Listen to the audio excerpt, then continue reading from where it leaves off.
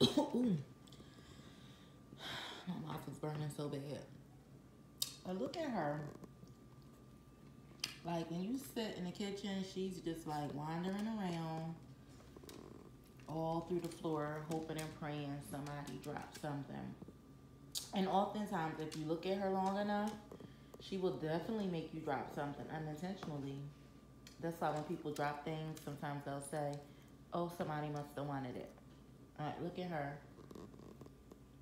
She just had me waste chips all over my white shirt. I'm eating red hot chips and she made me um, waste them.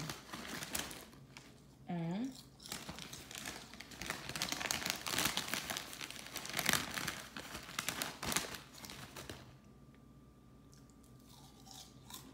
mm, right now,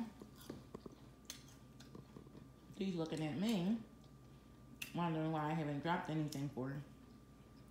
But,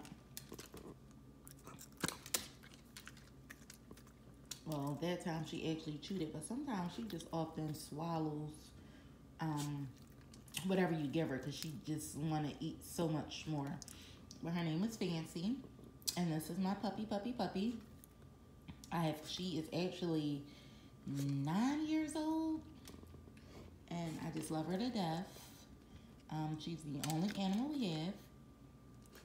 I also like cats too.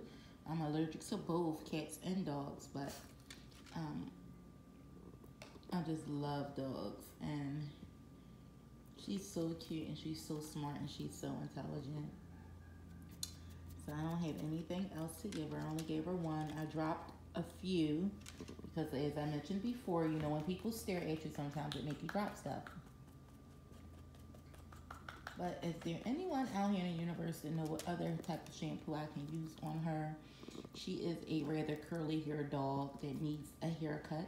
You guys can't see her eyes right now, but um, she so pretty and she's so smart and she's such a good girl.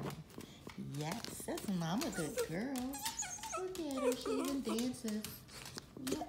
All right, settle down.